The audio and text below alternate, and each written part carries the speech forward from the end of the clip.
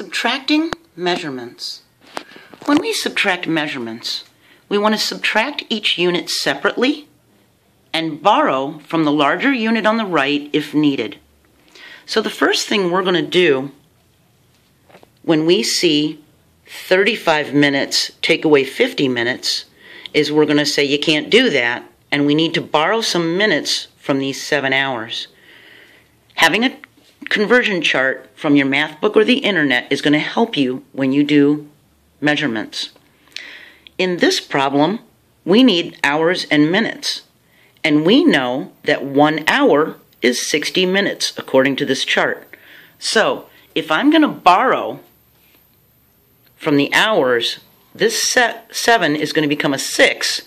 And instead of borrowing like normal in subtraction and putting a 1 here, I'm giving it 60 minutes.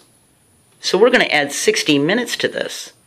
0 and 5 is 5, 6 and 3 is 9, and now we've got 95 minutes and 6 hours. 5 take away 0 is 5, 9 take away 5 is 4, always write your labels. 6 take away 4 is 2, and our answer is 2 hours 45 minutes. Now let's do these pounds and ounces. Can you have 8 ounces and take 14 away? No, you can't. So let's look at our chart. One pound is 16 ounces. So we're going to have to borrow from this 13 pounds. It's going to become 12.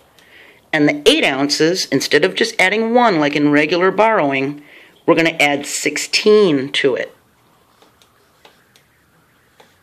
6 and 8 is 14. Carry the 1, put the 4 down. 1 and 1 is 2.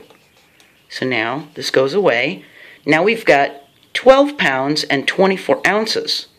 24, take away 14 is 0, 1, 10 ounces. 12 take away 10 is 2 pounds, 10 ounces. You need a conversion chart from your math book or the internet to do measurement conversions, unless you can memorize them, but it's very few people can do that. This is how you subtract measurements.